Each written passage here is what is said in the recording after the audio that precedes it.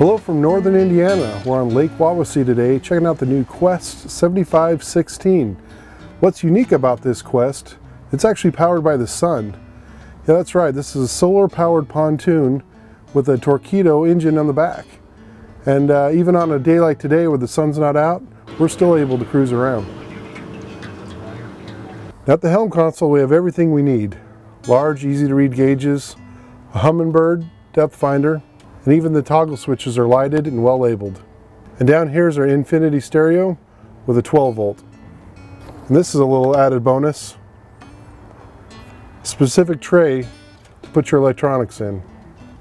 Now the solar panels are located directly above us, which also makes a nice sunshade. And by removing just four pins, it actually makes it really easy just to lay this whole top down when you're not using it. We're excited about the possibilities of this solar power line from Apex Marine and feel it's going to be a great draw for a lot of families who boat on smaller lakes.